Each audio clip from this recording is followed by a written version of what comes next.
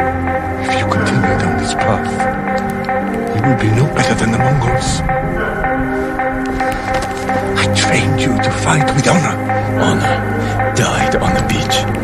The Khan deserves to suffer.